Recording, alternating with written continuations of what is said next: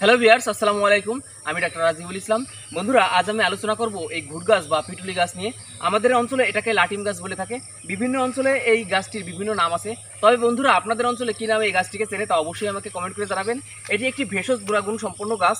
এই গাছ থেকে কয়েকটি গুরুত্বপূর্ণ রোগের ভেষজ ওষুধ তৈরি করা হয়- হয়ে থাকে। বন্ধুরা, এটাকে আমরা ছোটোবেলায় আগে খেলতাম। এই গাছের ফলটা গোল এবং আমরা লাটিম গাছ বলে থাকি। এই ফল দিয়ে আমরা বিভিন্ন গাড়ি তৈরি করতাম এবং তা দিয়ে খেলাতাম। এখনও গ্রাম বাংলার ছেলেরা এই পিটুলি গাছ নিয়ে তাদের খেলার জন্য বিভিন্ন গাড়ি তৈরি করে থাকে। কিন্তু বন্ধুরা, অনেকেই জানে না যে এই পিটুলি গাছ একটি ভেষজ উদ্ভিদ এবং এই গাছ থেকে ওষুধ তৈরি হয়। বন্ধুরা, এই পিটুলি গাছের ফল এবং পাতা দুটোই ভেষজ চিকিৎসায় ব্যবহার করা হয়ে থাকে। তাহলে চলুন বন্ধুরা, জেনে নিই কোন সব ভেষজ চিকিৎসায় এই পিটুলি গাছের ফল এবং পাতাকে ব্যবহার করা হয়ে থাকে। পিত্তথলি ও কিডনির পাথর ভাঙতে। বন্ধুরা, যাদের পিত্তথলিতে এবং কিডনিতে পাথর আছে, সেই পাথরকে ভাঙতে বা সেই পাথরকে ক্ষয়ে শরীর থেকে বের করে দিতে এবং সেই পিত্ত পাথর ও কিডনিতে পাথর রোগে এই পিটুলি গাছের পাতা এবং ফলকে ব্যবহার করা হয়ে থাকে। বন্ধুরা এই পিটুলি গাছের পাতা এবং ফলে এক ধরনের ঝাঁঝালো গন্ধ আছে সেই গন্ধর কারণে আপনাদের বমি বমি ভাব বা মাথা ঘোরা হতে পারে, এমনকি বমিও হতে পারে। সেই ক্ষেত্রে আপনারা এই পিটুলি গাছের ফল বা পাতা যেটাকেই আপনি থেতলান, সেই থেতলানো অংশের সঙ্গে আপনি কিছুটা চিনি বা মধু মিশিয়ে দেবেন, তাহলে বমি বমি ভাব বা সেই গন্ধও থাকবে না। তাহলে আপনার খেতে সুবিধা হবে।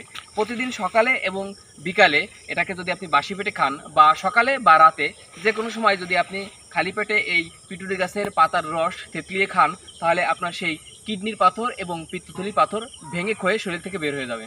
বন্ধুরা, আপনার পাথর হলে আপনি কি করে বুঝবেন যে আপনার কিডনিতে পাথর হয়েছে?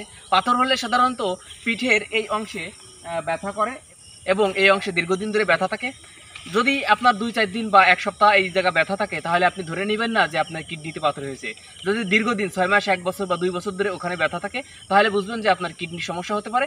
আপনি টেস্ট করে তারপরে নিশ্চিত হয়ে কোনো ভেষজ ওষুধ বা যে কোনো ধরনের ওষুধ খাবেন। বন্ধুরা, আপনারা যে কোনো রোগ সারাতে সবার আগে এলোপ্যাথি, হোমিওপ্যাথি বা অন্য কোনো ওষুধ খেতে যাবেন না। কোন খাবারে আপনার সেই রোগটা হতে পারে সেটা নিয়ন্ত্রণ করার চেষ্টা করবেন। যদি খাদ্যাভ্যাস পরিবর্তন বা ভেষজ চিকিৎসায় আপনার রোগ ভালো না হয়, তাহলে সেই ক্ষেত্রে আপনি এলোপ্যাথি, হোমিওপ্যাথি বা অন্য কোনো ওষুধ সেবন করে আপনি আপনার সেই রোগকে সারাবেন। বন্ধুরা, প্রতিটা ওষুধেরই পার্শ্ব প্রতিক্রিয়া থাকে। যদিও হোমিওপ্যাথি ওষুধের কোনো পার্শ্ব প্রতিক্রিয়া নেই, তবুও ওষুধের ভুল প্রয়োগ হলে সেখানে পার্শ্ব প্রতিক্রিয়া দেখা দিতে পারে এবং ক্ষতি হওয়ার সম্ভাবনা থাকে। দ্বিতীয়ত যে রোগটায় কাজ করে সেটা হচ্ছে বাত। গাঁটে বাত বা মাংসপেশিতে বাত। যে কোনো ধরনের বাতের জন্য আপনারা এই পিটুলি গাছের পাতা বা এই ঘুট গাছের পাতাকে ব্যবহার করতে পারেন।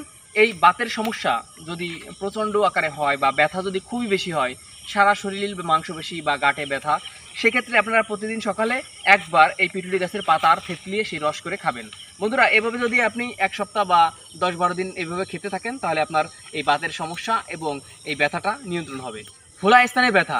আপনাদের শরীরে যদি কোনো অংশটা ফুলে থাকে বা আঘাত লেগে থাকে এবং সেই স্থানে যদি প্রচণ্ড ব্যথা থাকে, তাহলে সেই ক্ষেত্রেও আপনারা এই পিটুলি গাছের পাতাকে ব্যবহার করতে পারেন বা এর ফলকে থেতলিয়ে আপনারা খেতে পারেন। আসলে আঘাতের ব্যথা এবং ফোলার ব্যথা যদি দীর্ঘদিন ধরে থাকে এবং সাময়িক সময় কমে গেলেও আবার মাঝে মাঝে বাড়ে, যদি এই ধরনের কোনো সমস্যা থাকে, তাহলে আপনারা এই পিটুলি গাছের পাতা বা ঘুর গাছের পাতাকে খাবেন। বন্ধুরা, পুরনো আঘাতের ব্যথায়ও আপনারা এই পিটুলি গাছের পাতাকে খেতে পারেন। ধরেন আপনি বড় এক ধরনের কোনো অ্যাক্সিডেন্ট বা দুর্ঘটনার কারণে পাঁচ সাত বছর আগে আঘাত পেয়েছিলেন, কিন্তু প্রতি যুগায় বা প্রতি অমাবস্যা বা পূর্ণিমার সময় সেই ব্যথাটা বাড়ে।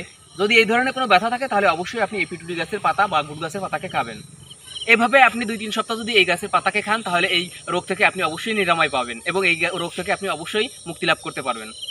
ক্ষত, যদি আপনার শরীরে আঘাতের কোনো ক্ষত বা কেটে যাওয়ার কোনো ক্ষত থাকে যে কোনো ধরনের ক্ষততেই আপনি এই পিটুলি গাছের পাতাকে ব্যবহার করতে পারেন। যদি সেই ক্ষতর পর এই পিটুলি গাছের পাতা থেতলিয়ে প্রলেপ দেন বা পট্টি দিয়ে রাখেন, তাহলে আপনার সেই ব্যথা এবং সেই ক্ষতর ঘাত দ্রুত সেরে যাবে। বন্ধুরা, এভাবে তিন থেকে এক সপ্তাহ যদি সেই ক্ষতর উপরে আপনি ব্যবহার করেন, তাহলে আপনাদের সেই ক্ষতটা দূর হয়ে যাবে এবং সেরে যাবে।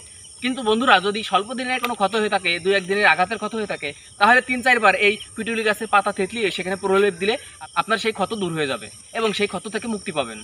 থাইরয়েড। বন্ধুরা, যদি কারও থাইরয়েড থাকে বা এই থাইরয়েডের গ্ল্যান্ড ফুলে যায় বা গলা ফুলে যায় বা গ্ল্যান্ডে প্রচণ্ড ব্যথা থাকে, সেক্ষেত্রে আপনারা এই পিটুলি গাছের পাতাকে বা এই পিটুলি গাছের ফলকে আপনারা থেতলিয়ে রস করে খেতে পারেন। বন্ধুরা, এভাবে যদি দীর্ঘদিন খেতে থাকেন, ছয় মাস বা তার একটু বেশি সময় ধরে, তাহলে সেক্ষেত্রে আপনি অনেকটা উপশম হবে এবং মুক্তি পাবেন। কিন্তু যদি স্বল্প সময়ের জন্য আপনার থাইরয়েডের গ্ল্যান্ডের ফোলা বা ব্যথা থাকে, তাহলে আপনি দশ বারো দিন এই গাছের পাতা খেলেই মুক্তি পাবেন। কিন্তু বন্ধুরা, যদি এরকম হয়, আপনি পাঁচ সাত বছর ধরে এই থাইরয়েডের সমস্যায় ভুগতেছেন, তাহলে আপনার দীর্ঘদিন ধরে এই গুড় গাছ বা পিটুলি গাছের পাতা খাওয়া লাগবে। বন্ধুরা থাইরয়েড আমাদের শরীরে একদিনে আসে না, এটা আমাদের শরীরে প্রবেশ করতে সময় লাগে, তেমনি শরীর থেকে এই রোগটা যেতে সময় লাগে। তাই আপনারা দীর্ঘদিন ধরে এই থাইরয়েড গ্রন্থির সমস্যায় বা থাইরয়েড গ্ল্যান্ডের সমস্যায় এই পাতাটিকে খাবেন। যদি দীর্ঘদিন ধরে খান, তাহলে অবশ্যই আপনি সেই থাইরয়েডের গ্ল্যান্ডের সমস্যা থেকে মুক্তি পাবেন এবং থাইরয়েড রোগ থেকে মুক্তি পাবেন। ধন্যবাদ বন্ধুরা, এমন ইন্টারেস্টিং আর মজাদার ভিডিও আরও পাওয়ার জন্য আমার চ্যানেলের সঙ্গে থাকুন এবং অবশ্যই আমার চ্যানেলটা সাবস্ক্রাইব করে রাখুন। ভালো লাগলে আপনার বন্ধুদের মাঝে শেয়ার দিয়ে দিন। যদি ভালো না লাগে, তাহলে ডিসলাইক বাটন তো অবশ্যই আছে, আপনি সেখানে চেপে দিন। Thank you